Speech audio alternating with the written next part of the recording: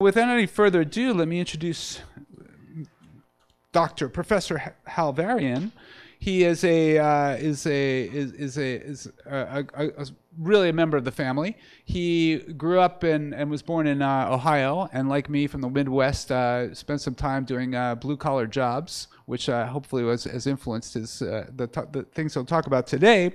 But then he went on to MIT. He did a degree in economics there. Then went to here back to Berkeley. Has a master's in mathematics and then PhD in economics. Uh, he has taught a number of these institutions, including um, MIT, Stanford, University of Oxford, University of Michigan. He's got a number of honorary degrees. He came back here as founding dean of our School of Information, uh, which is when I first uh, met him. And uh, he has, has been written best-selling textbooks in economics and also a, a best-selling, two best-selling books more general for general audiences information rules, a strategic guide to network economy, and the economics, economics of information technology, an introduction. And then he was lured away by uh, Google in 2002, the early years, and became their chief economist, where he continues to this day. And it, basically providing critical insights into all aspects of, of Google and their, their, their businesses and their impacts more broadly on, on, on the economy globally. So he's extremely, um, extremely respected. He's always interesting. And um, but today his topic will be on um, the Varian's theorems. He's going to be uh, talking about fair allocation of homogeneous divi- divisible resources, and particularly uh, when there exist Pareto efficient envy-free allocations. So please welcome Hal Varian. okay. So that last part wasn't really accurate. I uh, originally titled this presentation Automation and Procreation, but then I decided that was a little pretentious, so instead I'm calling it Bots and Tots. and the idea is there's this very threatening bot over here. There's a countervailing factor, namely a lot of demographic forces at work, which I think uh, people don't take into account enough when they think about the future of work. So here's Econ 101. Uh, economics of the labor market, there's demand for labor, there's supply of labor, there's some equilibrium level of employment and wage.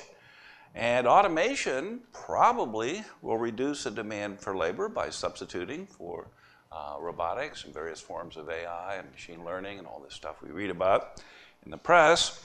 But the other side is we're going to see reduction in the supply of labor, and that's simply because of demographics the aging society that play out of the baby boom and a few other factors that are uh, at work. And so we can expect to see less work in the future. I think that's right. But of course, that's what people want. Everybody wants more jobs and less work. And technology can provide that, as we see in this uh, diagram. And what happens to the wage is ambiguous because it's going to depend on the interplay between the demographic forces changing the supply and the uh, the uh, electronic forces, the digital forces changing the uh, demand. So that's what I'm going to discuss in the next, uh, the next 40 minutes or so. The supply comes from the tots and the demand comes from the bots, and we'll see how it work, all works out. So start with the bots. We want to talk about the job stealing. 2016 headline, smart robots could soon steal your job. Or go back to 1980, robots after your job. Or go back to 1960, they bid for big jobs in outer space. Or 1935, where in fact thinking machines replacing the thinkers. Or we can go back even further, 1812, when there's a warrant poster out for people destroying looms. So this idea that robots or machinery would come along and steal your job, it goes way back, way back to the Industrial Revolution. But lately, there's a little bit of a counter theme here Uh, we're seeing a, a, a uh, problem with a labor shortage, not a labor surplus. And I'm going to argue that that labor shortage is going to continue for some time into the future. And the first point I want to make is the economy can absorb shocks to the labor market. This has happened over many decades. As you can see, despite all this history I just showed you, in general, work week has gone down. So amount of work has gone down basically fallen in half. Uh, and uh, during that time, we become dramatically more prosperous. So, in fact, clearly in the long run, the economy can absorb labor shocks, but even in the relative short run, there's a number of examples. One is women entering the labor force. There was a huge increase in uh, participation in the labor force by women in the 60s and 70s. If you look at this chart, you see almost double, almost twice as many men were in the labor force as women back in 1950. And then you fast forward, and now it's about, I think, uh, 85% or so. So there's been a very, very big shock to the labor market with huge number of new workers coming on stream. And in part, when you go back and look at the history, that's due to automation because it was the domestic automation of washing machines and vacuum cleaners and dishwashers and dryers and lawnmowers and on and on, and on that freed up people to pursue out of the house uh, work in the, in the labor force, the paid labor force. So automation had a very important effect in, that, in those cases. And the baby boomers. So here's a chart that shows you the baby dearth back in the 30s when the Depression was on, the baby boom after World War II, the baby bust after that, and then the echo of the baby boom back in the uh, 80s and 90s. So if you just look at this chart, you can see there's really dramatic changes in the number of births, and then of course 20 years later or so, there's a demand, there's a very noticeable change in the supply of labor just from following the demographic, uh, just from following the numbers. And really, despite my being an economist, I do have to admit there's really only one social science that can forecast accurately uh, a decade or two into the future, and that's demography. Because these patterns of birth growth, you know, T dot equals one every year. We're a year older, and that's been true uh, since the beginning. Spreadsheet apocalypse. This is a nice one from the Wall Street Journal, where we saw the rise of the spreadsheet, and we saw a big drop in bookkeepers, accounting, and auditing clerks. But at the same time, that technology was very helpful to management analysts, financial managers, uh, analysts, accountants, and auditors, and the demand for those higher level use of data analytics increased uh, dramatically. And finally, here's a nice chart from the uh, Bureau of Labor Statistics looking at videotape and disc rental. They had a whole category of employment for that, and we saw what it looked like 150 so 150,000 uh, employees back in uh, uh, 2007, and now, of course, it's dropped to almost nothing. So we've had many shocks to the to labor force. Demographic shocks, women entering the labor force, the baby boomers, we've had different kinds of technological shocks, and we can expect this to happen uh, in the future as well. Now, if you try to look at understanding how the labor market works, it's very important to think in terms of tasks. As automation typically doesn't eliminate jobs, it eliminates dull, tedious, and repetitive tasks. So think about washing clothes, which occupied a huge amount of labor, really a dramatic amount of labor, mostly within the household, drying dishes, mowing lawns, digging holes, all that stuff, or cognitive tasks like making change or memorizing maps, adding columns of numbers up, and so on. And it's true that if you eliminate all the tasks that are associated with a job title, you've eliminated a job, but that is very, very rare. So in 1950 US Census, they had 270 detailed occupations listed, and you had to pick one of those occupations. Since then, only one, only one of those jobs has actually been eliminated by automation. You might think a minute for which job that is. There's the picture, elevator operator. We don't have many, there's still a few, we don't have many elevator operators anymore. Uh, but at one point, pretty much every building with a few stories had an elevator operator. Uh, and their job consisted of a number of tasks other than just moving that lever back and forth to raise and lower the, the uh, elevator uh, in the shaft. You know, it's not a bad business, the elevator business. It has its ups and downs, but. All right. I, I, I, that's only one of my two jokes, so we'll, leave, we'll say the other. You've got something to look forward to. Um, the other thing, besides operating the elevator, they were safety monitors. They were security monitors. They greeted people with a cheery hello. They provided answers to questions, provided services to residents, delivered boxes to doors, on non special prices or offers in department stores. And if you think about it, many of those tasks are still around. You walk into a tall building in San Francisco, and there'll be security people there, there'll be people who answer questions, there'll be people that say hello. So those tasks have shifted into different occupations and become part of whatever security guard or greeter occupation, no longer tied to this particular job, which was an amalgam of tasks such as the ones I just described. So most jobs are more complicated than we think, especially intellectuals. We think the that, oh, it's simple to be a truck driver or somebody who uh, works in a fast food store. It's one of those things. They're actually much more complex. And the place to dive into this is to go to ONET, O*NET, which is a publication from the Bureau, Department of Labor that looks at different occupations and what the tasks are that are associated with those occupations.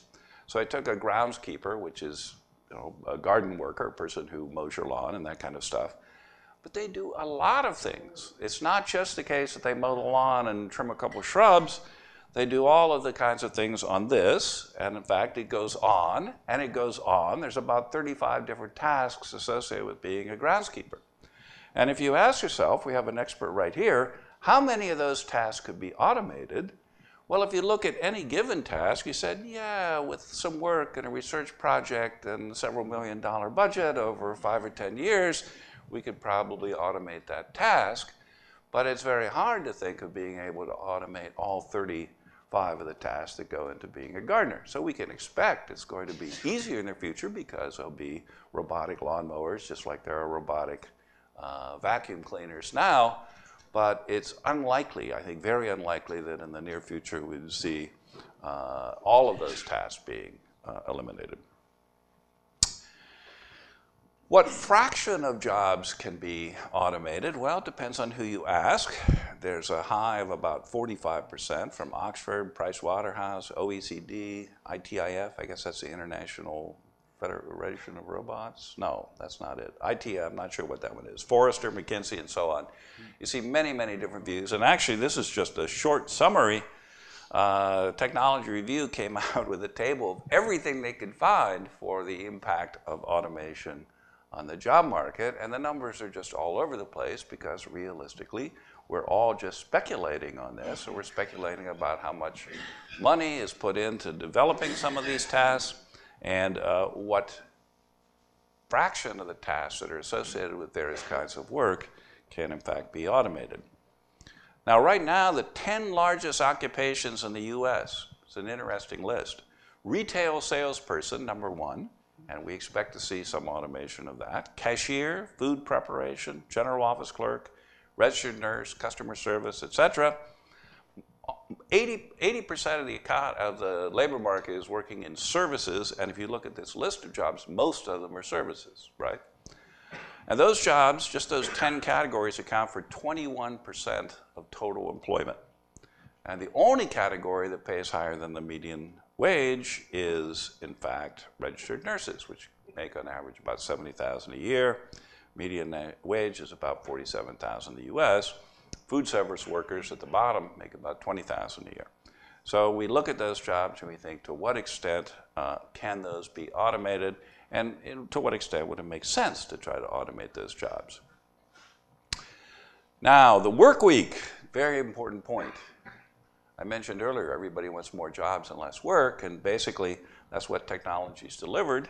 Back in 1850, we had 66 or 70 hour work weeks, especially if you worked on a farm. The cows didn't take vacation on Saturday, Sunday, or any time for that matter. And in fact, if you look at uh, work week gradually decreasing, took a big jump there around 1900, and now in the US we have a 38 hour work week. Okay, so that's pretty good. But it varies dramatically across space. In the Netherlands, that has the shortest work week in the developed uh, economies 29 hours work per week.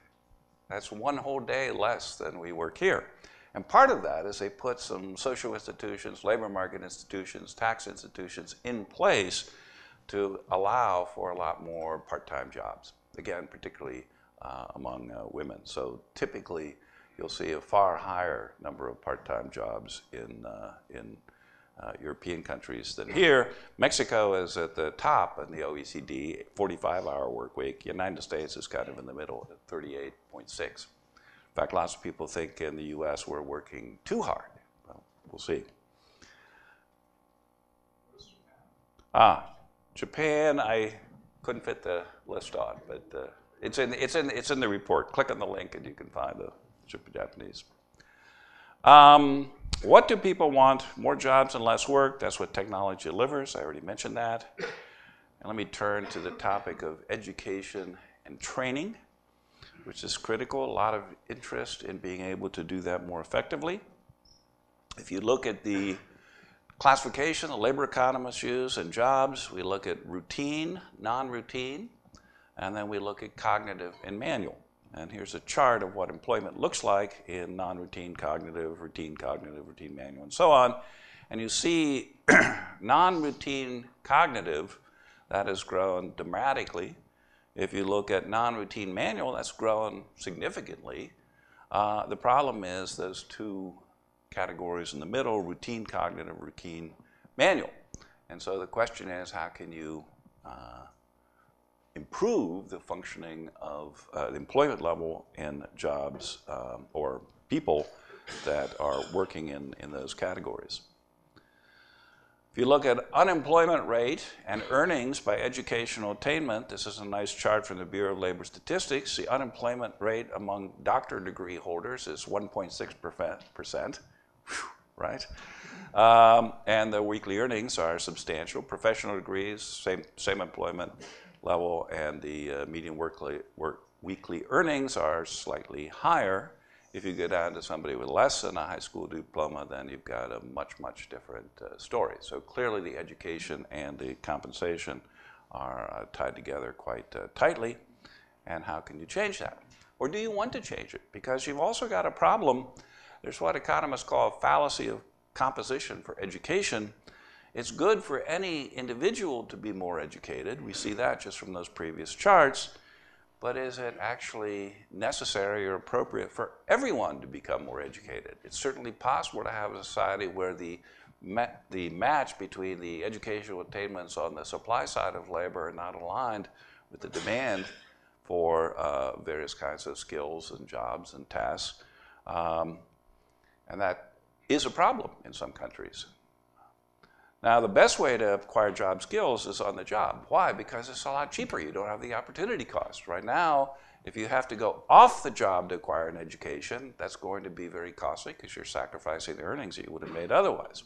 And in lots of cases, the on-the-job training is much, much more relevant, more focused, and of course, people are highly motivated. My brother had a heating and cooling business, and every time Carrier came up with a new model of air conditioner or furnace, his employees would rush off to go take uh, uh, the course, the one day course in how to install, how to repair, how to deal with that new model. They were very, very highly motivated to acquire that education. And they probably wouldn't be quite as motivated to go take a class in algebra or Latin or uh, something like that. So the question we need to think about is can technology help deliver those on the job uh, skills. It used to be that being a cashier meant you had to know how to make change. You had to know arithmetic. It's not necessary anymore. The machine calculates the uh, change. It used to be a writer required knowing how to spell. Thank God they don't have that requirement anymore, but or at least I'd be in trouble. Taxi driver meant you had to know the city streets. A hospitality worker, you had to know a little bit of a foreign language. If you're a gardener, you had to recognize plants. And a veterinarian had to recognize breeds of dogs and cats. All of those things are gone now. Those particular skills are not necessary for the job classifications I described. And what happens is you have your mobile phone or your electronic device that can make change, it uh, can spell check for you, can navigate around city streets and so on. And that's something I refer to as cognitive assistance, widely used term actually. And if you think about it, when there's a gap in skills between what the worker has and what the employer wants, there's two ways to close that gap. You can actually raise the skill of the worker, or you can reduce the need for that skill uh, by the uh, person who's doing the hiring. And in fact, it's not really terrible. Some people think it is, but I don't think it is necessarily.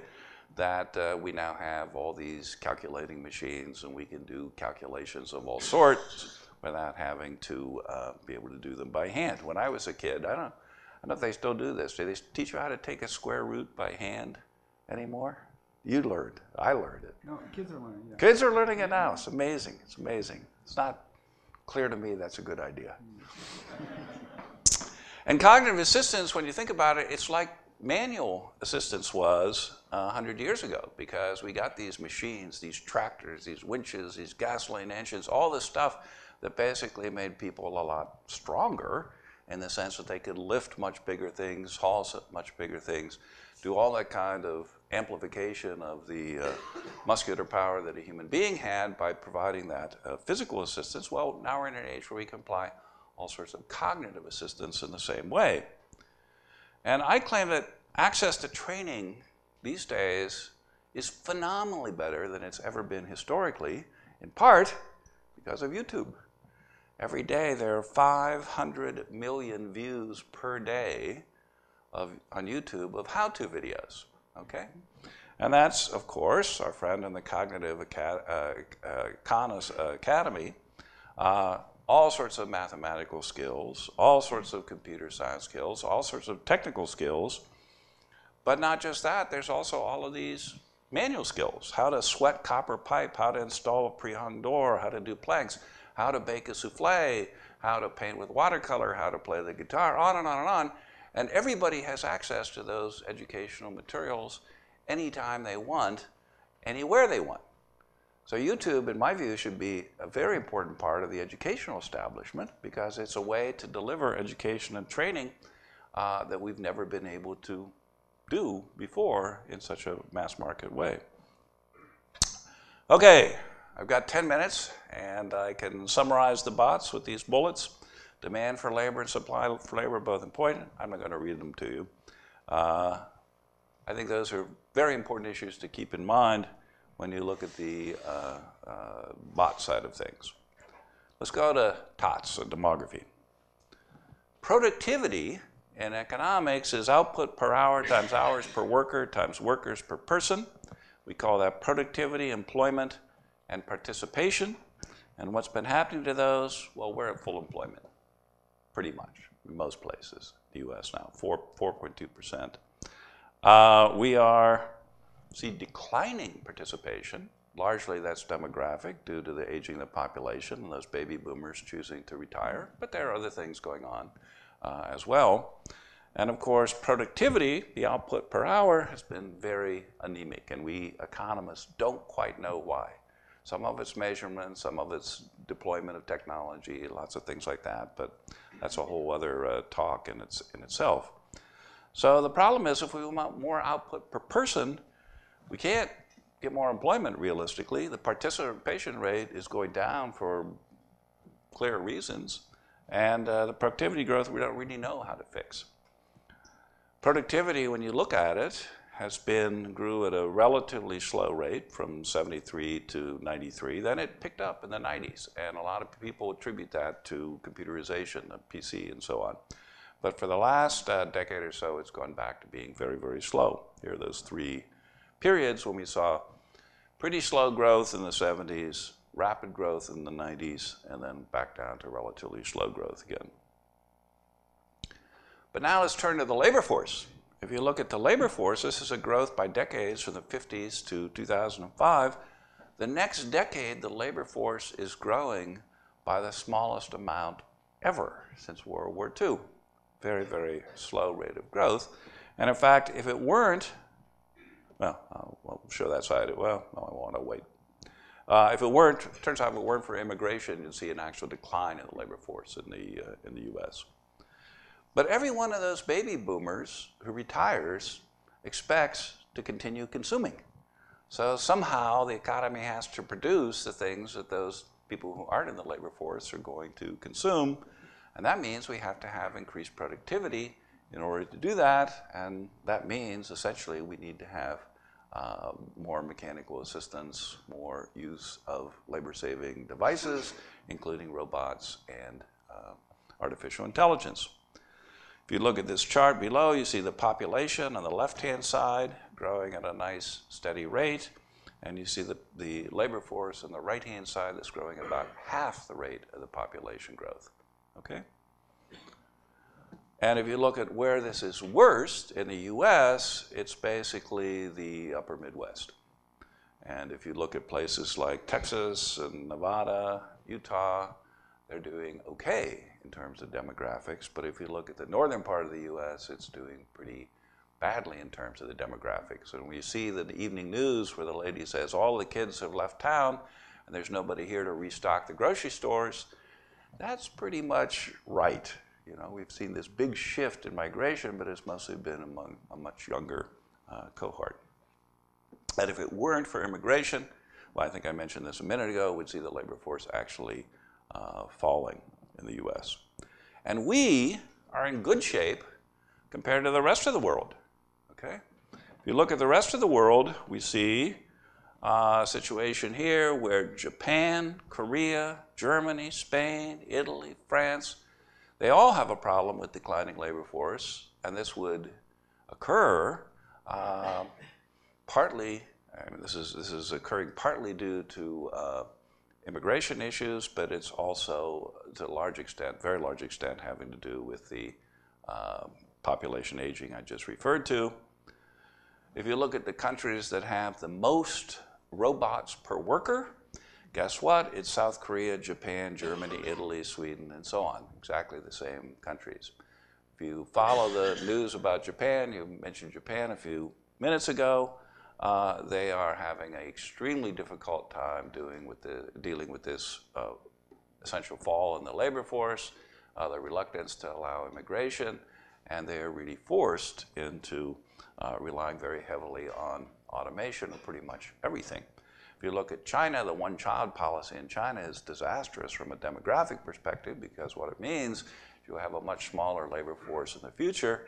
And the Chinese are, of course, investing very, very heavily in both robotics and artificial intelligence just to prepare for what's going to happen uh, 10 or 15 years down the road. The labor force participation rates I've shown you here are declining US. Growth in population. US labor market is already beginning to tighten and we can expect a tight labor market for the next 25 years, essentially. That's just looking at the demographics, okay? Retirees are consuming. The old intuitions we have are no longer helpful because we had two very big shocks to the economy uh, 30 years ago, and that was women entering the labor force and the baby boomers entering the labor force. So we've lived through a period where there's been a general supply of labor has been available, and now we're entering a period that's exactly the opposite, where the uh, supply is not going to be available, but the demand will be there. So, from the viewpoint of technology, my view is that the uh, robots are coming along just in time. Because if we don't manage to find a way to increase output to support all of the fraction of the population that's not working, then we're going to really have a lot of social and economic uh, difficulties. So, oh yes, and there's the other side, which is healthcare. All of this has been just about looking at people who are not working. They've withdrawn from the labor force due to some reason. But of course, the older people get, the more costly they get in terms of healthcare. And if you look at the people over 65 in the US today, there's about 46 million, but by 2060, there's going to be twice as many. 98 million. You look at the people with Alzheimer's today, 5 million. There's no cure found. Uh, 30 years from now, there'll be again, almost three times as many. So you have really uh, severe issues, not only from just normal participation in the labor force, but also what happens as you have this aging, uh, aging population. There's a recent report for the Department of Labor on uh, employment gains by occupation. And if you look at this in light of the, the technology and demography story I've been telling, this is pretty much what it looks like. One newspaper headline summarized this by saying the demand is all for nerds and nurses. So there you go. Uh, personal care aides, registered nurses, home health aides, medical assistants, and so on, software developers as well. And if you, if you don't manage to deal with this kind of shock to the labor force, you're going to be in a very uh, difficult situation. And so I'll end on that note. The note is if we do nothing, then uh, it's a pretty pessimistic story, but actually the things that you could do in terms of impacting both the supply and demand for labor uh, can be very helpful. I'll stop there. Thank you.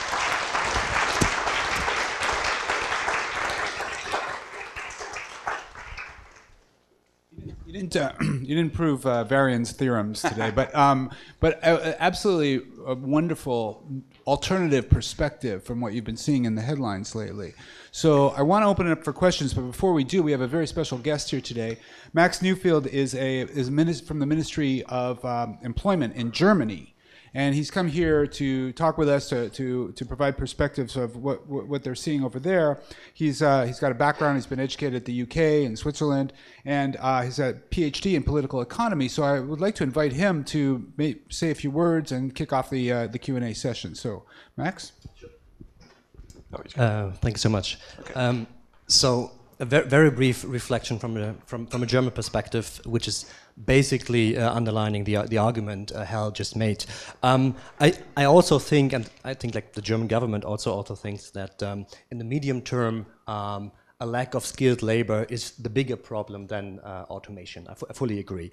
Um, although I, I think that um, it's very likely that we are going to see both um, at the same time. So technology-induced unemployment um, and skilled labor shortages. And when we look at the, the German case, even with the recent influx we had um, of, of refugees, the labor force in Germany will peak around 2020 and then uh, decline quite decline quite quite rapidly.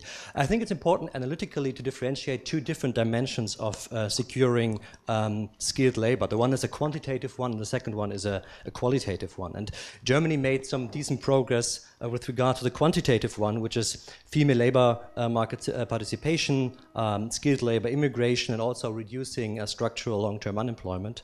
Um, but this means that there's little more to do with regard to increase the number of, of noses, so to say, right? So um, what we have to do now is to approach the, the qualitative dimension, um, which is a constant development of skills and capabilities of those noses we, we increased. Um, and that's a lot harder to, to achieve from a governance perspective because um, the measures you have to take go beyond taxation and regulatory issues, but um, largely have to play out um, at the workplace level, which is hard far, more difficult to do um, from a policymaker perspective. And um, I think there is a quite crucial role for technology to play. Um, first of all, I think monitoring and predicting the, the development and development potential of individuals at the company level, but also ideally at a, at a um, company, uh, industry, and national level um, is is, is a big challenge. When we look at Singapore, for example, that's what the Singaporeans are doing. So actually tracking the human capital investment of each individual to see what, what is working, what is not working. And secondly, I think there's also a massive role for technology to play uh, with regard to building learning and capability-friendly uh, working environments. And we had all this debate in the 1980s actually about different kind of concepts. How do you how do you increase the learning friendliness of, of workplaces, um, but not so much implementation. So all the debate we had, for example, about high performance work work practices, we don't really know that much about the diffusion. There's only like anecdotal evidence. Um, and I think what we have to do now, the question is how do you organize this um, to, radically, to radically uh, redesign um, work organization to contribute to to individual uh, development. And um, this could be this concept we developed in the in the 1980s. And um, the question is, I mean, when, when you take a German manufacturing worker, which could be conceived as um, routine work. It is quite a lot of embodied knowledge. And the question is, how do, you, how, how, do you build a system where tasks are given to a person that are maximum, that are to a maximum uh, extent contributing to the, to development of, um, of this person? And I think there's a massive role to play for, for technology. We don't have these uh, technologies yet, and that's what we would like to see in the future. Thank you. Excellent. Thank you. To your questions. Please put your hand up if you have a question, and then we'll one way in the back. Do we have another mic? We have a couple mics. Okay, good. There you go. Hi. Um, you mentioned that there was this uh, decrease in supply and demand. Do you know if the decreases are happening for the same types of jobs? Yeah, it's uh, it's differ if you, if you look at, I, I had some slides in there about this, but I took them out for, for time. You see this kind of polarization in the economy. There's been an increase in the demand for highly skilled workers. We're all aware of that. But at the same time, there's also been an increased demand for low skilled workers. Okay, even the restaurant workers that we're talking about, very low paid. But you walk by, walk down a street in San Francisco or in Berkeley, and you'll see signs on the windows looking for dishwashers and cooks and cleaners and all sorts of uh, those things. And, and that is really the, the fact that we're just seeing a reduction in the supply of labor, partly for demographic reasons, partly for immigration reasons, a few other things. The middle jobs that require some training but are largely repetitive, those are the ones that are being handled by uh, automation. Think about the assembly line, for example. We spent 100 years optimizing the assembly line making a person at each station do a very specific, well-defined, clear task. And it's not at all surprising that now half of the industrial robots in the world are in automobile plants because there's a very high degree of substitution between somebody doing a repetitive manual task and the kinds of things that a robot can uh, fairly easily do. So we'll see more of that. The manual, routine tasks, those will be uh, automated, and the challenge is dealing with the other side. But it's not just the higher educated people, it's also going to be demands for relatively uh, low skilled people who can learn uh, tasks that would be helpful, like the gardening example or like the uh, food worker example, and so on. You know, I like to say I've, I've actually held the four worst jobs in America because I grew up on a farm, so I was an agricultural worker. And then in high school, I worked in a Dairy Queen, so I was a fast food worker. And then one summer, I worked uh, for Timken Roller Bearings, making ball bearings in a factory. And then I was a dean at Berkeley. Uh. yeah. So, you'll, I, I know there are some people in the audience who can identify with that another dean. thank, thank you for your very insightful talk. I found your point about the impact of immigration on the workforce very interesting. And so I wanted to ask what do you think will be the impact when and if the DACA work permits expire early this year? Yeah.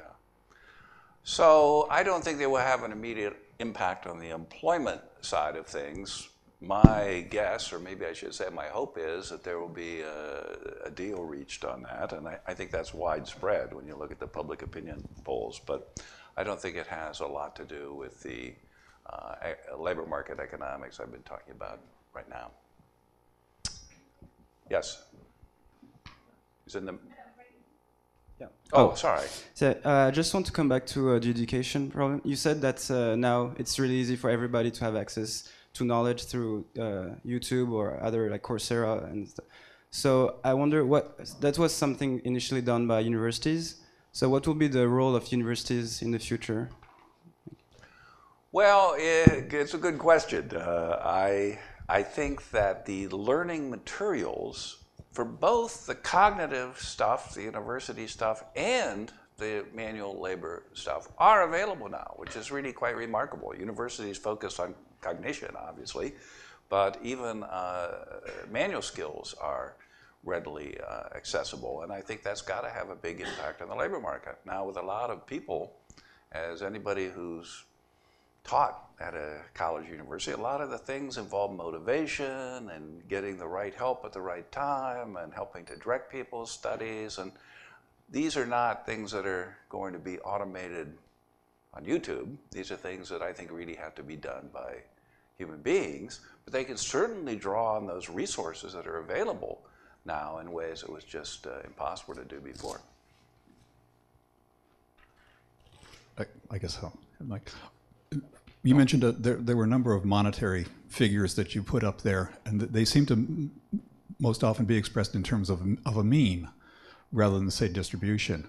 Uh, and, and I think of, of, of distributional aspects as, as really contributing to senses of, of societal equity. Uh, particularly, you mentioned the figure, the, the uh, prevalence perhaps of part-time work in, in, Denmark currently, and that figure back in 1850, how much of what kind of a sense of equity uh, in that labor, that ag agricultural labor market was there with slavery existing. So, to, to what extent do do distributional aspects uh, affect what sort of dynamic is at play there? Yeah. Well, I do think that our perception of distribution has evolved during this period that I described earlier, where there was basically surplus labor available, or there was lots of workers available, and it was they were kind of on the wrong side of the uh, of the negotiation. And I'm much more optimistic about the future, where we have, in my view, higher levels of employment and wage pressure that's pushing wages up. Now, I can't say that definitively now, but when you look at the statistics, it certainly looks different than it looked uh, uh, several years ago, and we may be entering a period where we'll see a lot more uh, focus on lifting the entire ship as opposed to just lifting uh, parts of it. So I'm optimistic for the future. We'll see what happens. All right, keep our fingers crossed. Who's next? Uh, hi. On the theme of distribution uh, and inequality, it partly depends not just on the labor market, but on what's getting more efficient. And so capitalism rewards innovation for prosperous people. So I'm one of the few people in the room who thinks male pattern baldness is an important problem. And, and so does capitalism, so that's awesome. Um, but as inequality has risen so far, it's going to push towards solving problems for prosperous people, which on the price side, not the labor market, can make things worse. There's spillovers, right? Android phones are cheap, even when iPhones make all the money. But uh, are there ways to tilt it more egalitarianly uh, in the in the product market or services? Well, on the, on the inequality front, if you look at income inequality, of course, there's no doubt that it's increased significantly. If you look at after tax, after transfer inequality, it's grown by less. And if you look at consumption inequality, it's grown by uh, significantly uh, less than uh, the growth in, in income inequality. And part of that is that many of the technological innovations that we've had in the last uh, decade or two have become very, very cheap. So you mentioned mobile phones. So that, those were just toys for rich people, or flat screen TVs. Again, those were only affordable by the very wealthy. I remember when Bill Gates built his house, there were flat screen TVs that cost $10,000 each that uh, projected uh, paintings, and now anybody pretty much has access to that. So I, I uh, I think Ken may have alluded to what uh, people have called Varian's uh, uh, law, namely what rich people have now, middle class people will have in uh, seven or eight years, and poor people will have another uh, few years after that. So, on the consumption side, I think we are really seeing uh, some some improvement. Yeah, thank you. Um, you mentioned that in the medium term, if anything, there, there'd be a shortage uh, of labor, so that's a positive story uh, for us. Um, but I, can imagine that there's still, in the short term, there's a bump we kind of have to get over first. And I, think actually Germany and the auto manufacturer industry in Germany is a good case study of that, where there has been a lot of job replacement in the in the auto factories, but because the German unions, labor unions, are so strong they've been able to force companies to mitigate that effect and take care of the um, workers that are no longer necessary. Um, I was wondering, do you think is there a similar short-term risk in the U.S. where labor unions are not as strong, and is there is there a different coping mechanism? So I think one of the important distinctions between the German labor market and the U.S. labor market is um, the diversity of income, poverty levels, union strength, et cetera, across the country. So if you look at the U.S. automobile industry, it was centered around Detroit in Ohio, the upper Midwest for a long time. They had quite a bit of power. Then when the Japanese came into the market, they didn't locate in Detroit or Cleveland or the upper Midwest. They located in Kentucky and Tennessee. And the new U.S. automakers found themselves forced really by competition to locate in similar places where wage rates were lower, the union power was much less. In Germany, as I understand it, uh, lot, most of the negotiations are taking place at the national level when you don't have that particular ability to move to low-cost areas within the country, although of course you can move internationally, and uh, companies are doing that in Europe, of course. Uh, that's uh, look at Spain, look at Portugal, there are places that are benefited to some degree from the, um, you know, from the fact that they have a lower wage and, and uh, you know, very much along the lines of the U.S., but not nearly as extreme as, as we'll, we've seen in the United States um, industrial history. Um, um, hi, this, um, I have a question about um, disappearing middle class. So I think there's a theory that um, going forward, we might start to see um, less people who work in the middle class, more shift towards like either lower end or high end. So I don't know, um, in your study, when you look at labor market, do you see that automation will start to replace jobs more like in the middle, which you kind of touch on, and then people who lose jobs who used to get paid like middle class income, they may actually not want to shift to the lower end and they, they can't shift to the higher end, right? So um, what, what do you think about that? What's your view on this theory of disappearing Right. class? This idea of the hollowing out, we're having demand for highly educated and for minimally educated people in the middle class. Well, there is some data that says that has been going on. You've seen some examples. The charts I showed you with the non-routine cognitive, sorry, the routine cognitive, routine manual tasks. Uh, but my own view is that that's transient. I don't think that's something that's really going to hold in the long run, the period we're looking at here. This is something that's happened over the last decade or so, but uh, I think unlikely to persist. Yes? Uh, Thank you. Um, uh, my question is about the productivity decline. Is is quite interesting. There's been a lot of people trying to describe why there's this decline in productivity, and I think one of the reasons might be that the way in which value is measured today is not actually taken into account in the in the way in which we measure productivity. And we have a lot of wealth being created, which is not measurable in the way in which we measure GDP, for example. And some people talk talked about happy degrowth, etc. Do you think that if we kind of try to change the way in which we measure wealth and productivity, we might have a different story to tell to people? Well, this is a topic near and dear to my heart. I've actually uh, worked on this quite a bit, and I'll give you my favorite example, which is photography. So back in 2000, there were 80 billion photos produced in the world. We know that because there were only three companies that made film. Uh, they cost about 50 cents for film and developing. Now, fast forward to 2015, and there were uh, 1.6 trillion photos taken in the world at a cost of essentially zero, so 20 times as many. Any non economist would say, wow, what an incredible increase in productivity. But we have this little trick or little uh, adjustment we do. We only measure goods that are priced, that are transacted in markets. And the vast majority of those photos are used by individuals or exchanged with their friends or all sorts of other stuff.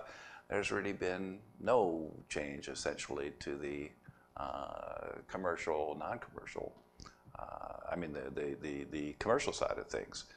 But it's had a huge increase in what people do. I mean, they get a lot of enjoyment out of that. It's very important to have those photos. Uh, same thing with a GPS system. GPS systems start out, they were only for rich people. Well, they were only for companies originally and military. And then they came down $1,000, $900, $800, price went down, down, down. Real GDP went up, up, up because you're getting same quality of service or better service at a lower price, right until the price hit zero and it came bundled with your smartphone. And at that point, no more productivity growth by definition, even though the capabilities have increased uh, dramatically. And if you think about the smartphone, the smartphone has replaced music players, cameras, GPS systems, uh, note taking devices, what else? Lots of other things. Those have all lowered GDP because you've seen the reduction in production of all these other items. They've been folded into the phone, and there's no quality or hedonic adjustment for mobile phones in the US. So clearly, the output has gone up. It's been shifted in the form it's been delivered, uh, but it doesn't show up in GDP statistics. So we're trying to fix this, but uh, it's a, you can imagine it can't be done overnight. You could just start charging for all that stuff, right? At Yeah. Google. Never mind. Um, one last question. Um, you mentioned that skill building and education is necessary to decreasing the skill gap, and guaranteeing a more inclusive future of work. And you also said that the information is out there. And so my question to you is what is the most effective way to guarantee that the people who need that education and skill building most are receiving it because they're not necessarily the same people who are using Coursera or watching the how-to YouTube videos? Yeah. Well, actually, I, I think we might, it'd be nice to know the answer to that question. That's one of the things we're trying to find out at uh, Google. I was talking to one of the CEOs at Alphabet whose hobby is welding. And he was telling me what fantastic resources there are on YouTube if you want to weld. And you imagine welding is not just a hobby, it's actually a career, it's a job, it's something that requires skilled labor. And now we're able to deliver all of this content that can help people do better welding. And I think it's true across the board. You could look at cooking. You know, that's a job, certainly, that people are interested in. There's a huge amount of instructional material there. So are people taking advantage of it and we just don't know it? Or do they not know these capabilities are there and we could tell them about it? Or how could we fold this into not just the educational system, the Khan Academy, great as it is, but in the training system as well? Because I think there's a lot of great stuff there that could really be extremely valuable from an employment point of view. That is a very positive note to end on. Okay. Thank you, Hal. Sure. You're terrific. Thanks. Thank you all.